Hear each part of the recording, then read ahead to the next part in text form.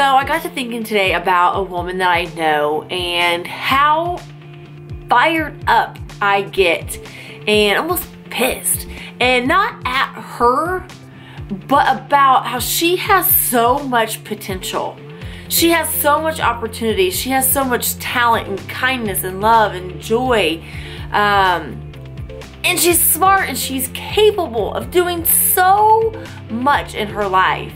And, you know, we've talked about goals and aspirations and dreams, but nothing changes. She just stays in the same, same spot, never takes a risk. Maybe she'll dip her toe in, but it's like, oh, it drives me, it drives me crazy because she's got so much to offer.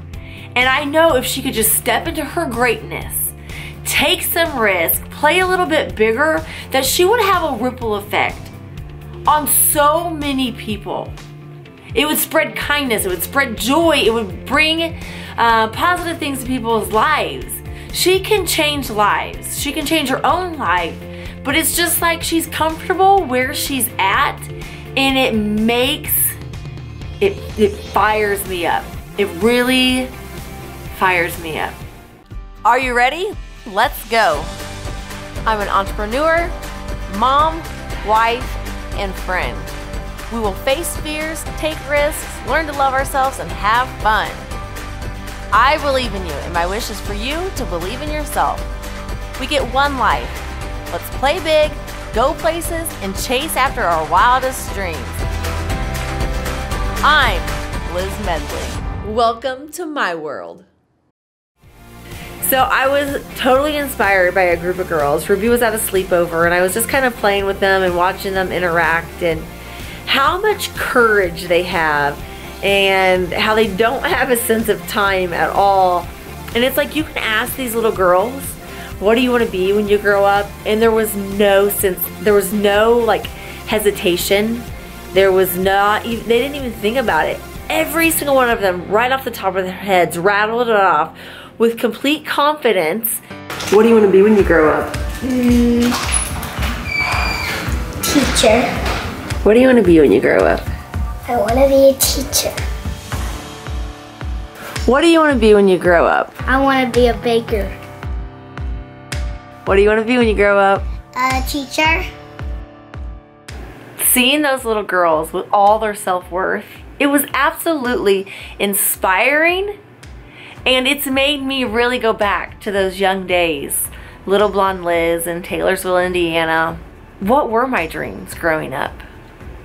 And some of them made me giggle. Like in kindergarten, I dressed up as a lifeguard and went to school that way. And I remember we paraded around the halls and showed everyone what we wanted to be when we grew up. When I was in high school, I was a lifeguard. You know, and then at one point I wanted to be a dentist. For a long time, I thought I was gonna own a candy store. There was a candy store down the street on the corner from us called Ogilvy's. And I would, you know, scrounge up change and I would walk down there and I knew for sure that I was gonna do that. So go back down memory lane and think of the things that you used to want to do. Some of them you may still want.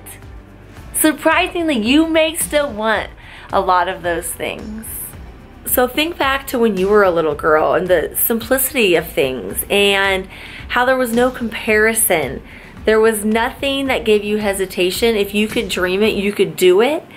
And you could do it today. You could do it now. There wasn't other responsibilities saying, oh, maybe my dreams need to go on the back burner. Your dreams were current. They were present. You could see them and you believed them wholeheartedly without a doubt that this was real and this could happen. And then over time, something happens. It happens to all of us as time passes. There's little things, there's words, there's actions, there's people's behaviors and responses to what we have going on that chips away at us. It chips away at our self-worth, at our confidence, at our belief, at our dreams. And I learned from these little girls that it doesn't have to be like that. We don't have to give up on our dreams. We don't have to have hesitation, but we've got to get back to that little girl. We've got to figure out what, what do we truly want? I know this woman who sees the worst in herself. And I look at her and I see all the amazing qualities that she has. And she's so capable of accomplishing whatever she wants. I know she has big dreams, but she's just complacent. She's hanging out, feeling comfortable, letting her dreams pass her by every day. And I just have got to get this message out because you guys, there's more to life than just being comfortable. You have a purpose. You have an identity. You have self-worth. I believe in you. You have to believe in yourself. You have to stop telling yourself that you're not worthy or, you know, who do I think I am? It's enough. You have to stop. You have to change the lies that you're telling yourself. It's not too late. It's not too late. You're not dead, so you're not done. I'm Liz Medley, and I believe in you.